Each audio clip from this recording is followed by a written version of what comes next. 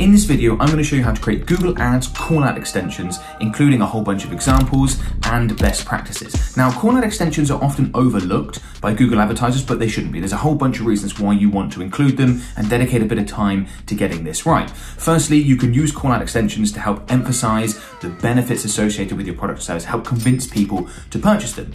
Along those lines, you can also use it to provide more information. If there's extra detail that you can give, in a Google ad, you can do so at the call out extension level. That might help get the click, help improve your click through rate, which we know helps everything within your Google ad account, help with conversions, etc., etc. You can also use call out extensions to differentiate yourself from your competition. There are lots of advertisers probably competing for the same keywords in the same areas. And if you can add that little bit of extra information, really emphasize the benefits you have above and beyond your competition, you can help win that space. So lots of reasons to include call out extensions. I'll quickly show you how you set them up and then we'll talk about examples, best practices, what you want to include, all that stuff. So when you're in your Google ad account, you want to come over here to ads and extensions and then click on extensions. Then if we click on this plus button and then select call out extension, the second one in the list, then you need to decide at which level you want these call out extensions to be added. Do you want them to be added to at the account level, campaign level, or ad group level? Now, if you've got benefits associated with your product service, things you want to include in your call out extensions that apply to every single campaign you're going to run within your account or use the account level, if you've got some that are going to apply to everything within a certain campaign, but perhaps not other campaigns, then the campaign level. But if you want to get really specific, you can go all the way down to the ad group where perhaps there are certain things you want to talk about based on a keyword grouping, an ad group, and that doesn't apply to other ad groups. So you can make that decision based on, on your business. Typically, we might use a mixture of all three. We might have some call out extensions that apply it to every single campaign, some that are campaign specific, and then some, not usually very many, does depend on the business, that are more ad group specific. I'm just gonna go ahead and leave it at account for now, but know that we would um, change this if we wanted to. And then we simply add in the text into these call out extension options. I believe there's 20 different options is the maximum that you can add. So you can really add quite a lot here and give Google quite a lot of uh, flexibility with which to test. But I wanna start going through some best practices. So best practice number one when it comes to your Google Ads call out extensions is to be super specific. So for example, instead of having a call out extension being fast delivery, which is obviously a benefit associated with whatever you do if you can deliver it very quickly, can you be more specific? So instead of fast day delivery, can you put in instead next day delivery? That's more specific. People understand, they understand exactly what that is. Or perhaps it's, you know, instead of fast installation, it's three day installation. Obviously, this is going to depend on your product and service. Instead of something like save more money or save money with us, you know, again, depending what you offer, you could have save um, 64% on average something like that, okay? Really specific. What's the average that someone using your product, service, etc. will save in comparison to your competitions? That's another example. Instead of kitchen worktops, you want to talk about part of the what you offer, you offer kitchen worktops, you could say marble kitchen worktops. Or you could have something like luxury marble worktops. And that specificity, again, is going to help get the click. It's also going to help filter out the people that in this scenario aren't interested in luxury marble worktops. Perhaps they're more interested in, in cheaper um, alternatives. So that's what I talked about earlier, where if you use call out extensions cleverly, you can filter out unwanted clicks. You can dissuade people from clicking on your ads and costing you money that are not going to be interested in what you have to offer. And if you specialize in luxury marble worktops as opposed to just kitchen worktops in general, that could be a good way to go. So that's being super specific. Best practice number two is to be concise and focus on one thing. Now, obviously you have a 25 character limit. You can see this over here. So there's just you can't waffle on at all with the call out extension. That's not how they are designed. But even then, you still want to focus on the one thing. Sometimes you can kind of squeeze two things in, becomes a little bit confusing. So what would be an example of that, okay? If we wanted to talk about how great our customer service is, you could have something like 24-7 customer service. It's focusing on one element of customer service, and that's that you can get in touch with us any day, any night, any day of the year, etc., etc. You could also have something like pet friendly okay? And that might be better than having pet and kid friendly. You might be better off having pet friendly as one call out extension and then kid friendly as another call out extension.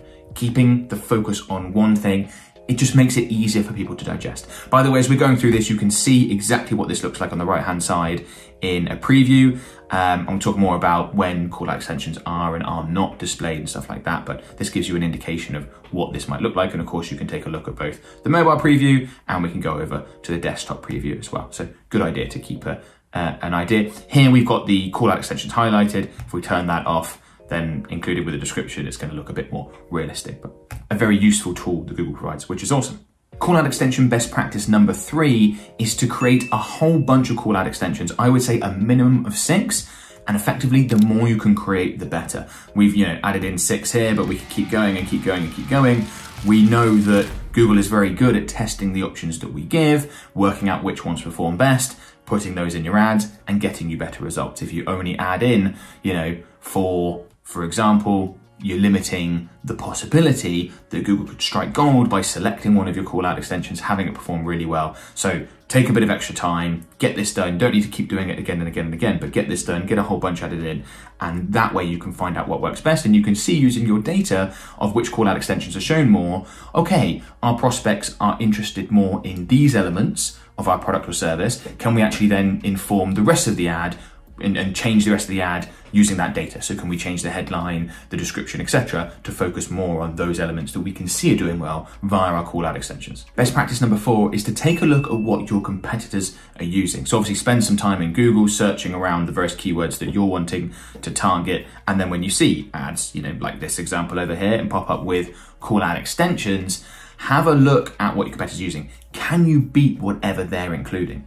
So for example, if someone was, you know, the product service is all about saving money and someone else had save 64% on average, could you go in and say, say save 73% on average? Obviously this has to be truthful and, and, realistic that you can deliver on that, but can you beat it? If someone's got three day installation, can you go ahead and add in same day installation? Obviously, you're not always going to be able to beat what your competitors are using and what they're talking about, but just think how that might look when the ads are side by side and someone's searching in Google if your thing that you're including in your call extension is notably better than what your competitors are saying and they're side by side. That's a really big competitive advantage. Now we know call out extensions aren't always displayed, so it's not necessarily going to be that clean, but it's just a good practice in general to do competitive research, see what they're using for their call out extensions, also for their headlines, description, etc. Model from the stuff that you like, try and beat the stuff that you can. That can make a really big difference, particularly in competitive markets. Best practice number five is to not be afraid to sell with your call out extensions. So let's say, for example, you're running a limited time only promotion. You could have some, you can have a call out extension like hurry, hurry, limited time only. Something like that is absolutely fine.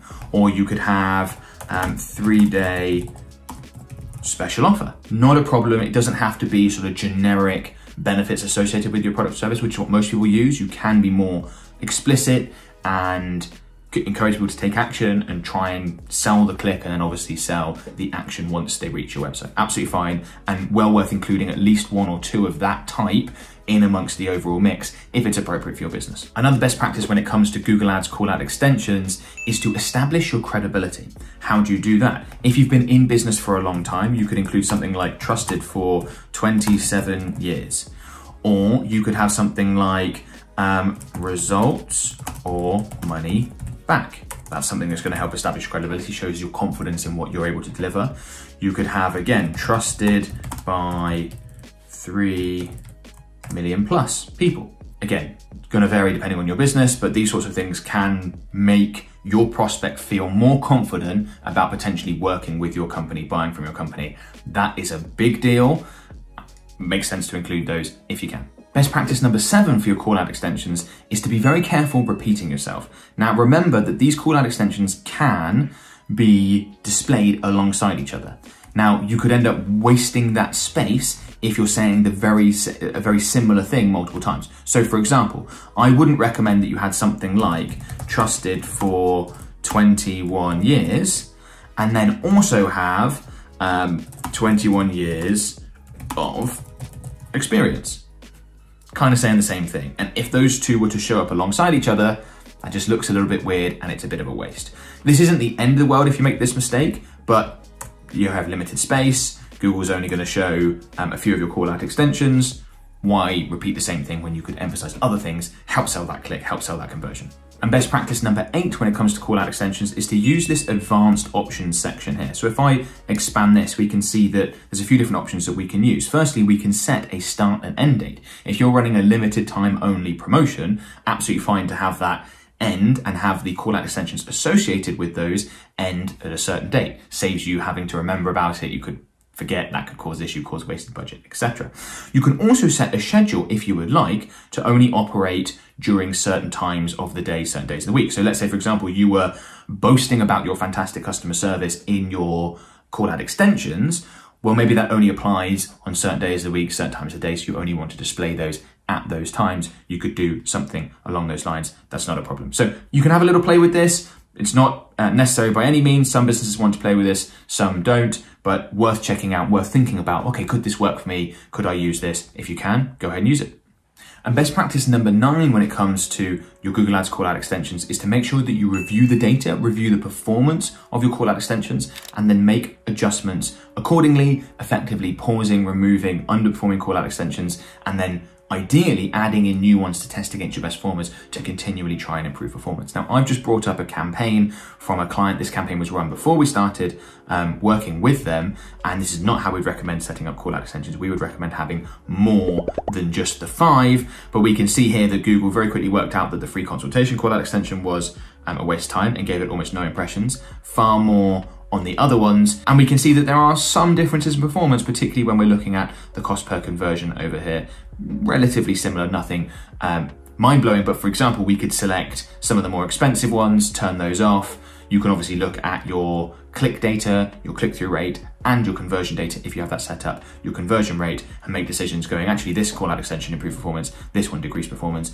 Don't expect the differences between call out extensions to be massive, but remember, Google Ads is a game of incremental margins, and if you can improve something by 3 or 4% here, and 3 or 4% here, and 3 or 4%, it all adds up to a much larger improvement that allows you to scale campaigns, etc. So the way you do you come into here is just go to ads and extensions, click on extensions, and then select call out as the options, and then once you've got a campaign up and running, you'll see data like this. Hopefully, as I said, you'll have more than the five options included. I've just got this for demonstration purposes, and you'll be able to see differences between them that you can make then make adjustments using, but well worth doing. It's also important to note that call out extensions won't always show alongside your Google Ads. And this applies to all Google Ads extensions, right? Sometimes they'll show, sometimes they won't. Sometimes they'll show for certain advertisers on a page and not others. Google's doing what they think is the best approach with these extensions to try and get the clicks, get the best possible results, right? So if you're searching for your ads, you see them pop up, etc., and you're not seeing call out extensions pop up, or you're taking a look at other advertisers and you're not seeing call out extensions pop up, it doesn't mean that they're not set up correctly, that they're not using them,